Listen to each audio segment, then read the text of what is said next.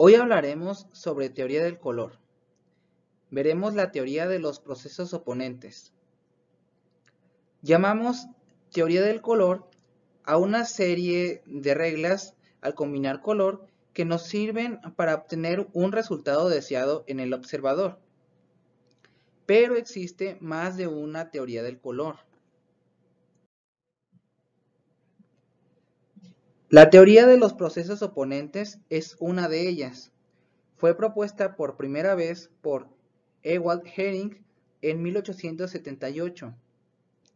Y esta nos habla de que la visión del color para nosotros es posible debido al emparejamiento de dos sensaciones de color que son contrarias la una de la otra, es decir, parejas de dos colores donde uno, se opone al otro.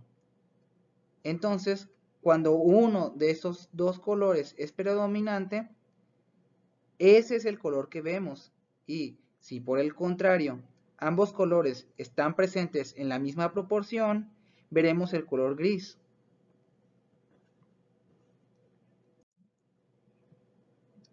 Hering consideraba que el color amarillo y el blanco eran tan puros o primarios como el rojo, verde y azul.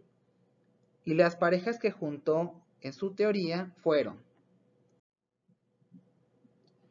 el azul con el amarillo, el verde con el rojo y el blanco con el negro.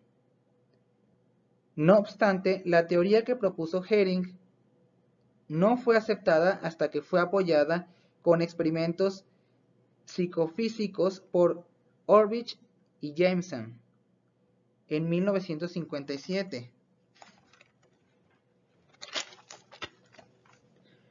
Como resultado de estos experimentos, se sacaron ciertas constataciones que le dan validez a la teoría de los procesos oponentes.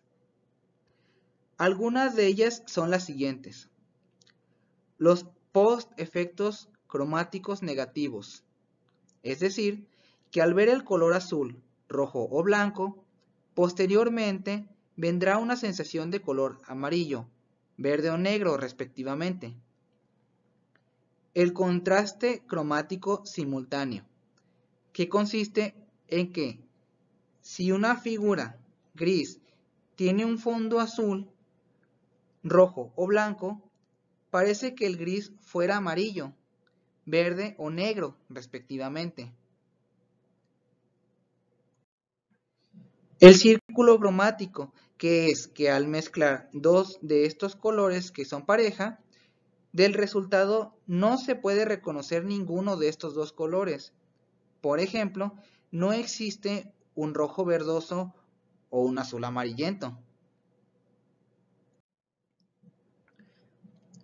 Y las deficiencias cromáticas.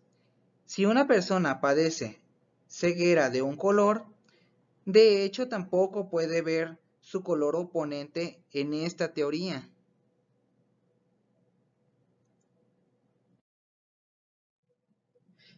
Gracias por ver hasta el final del video. Espero que esta información les sea de utilidad y hasta luego.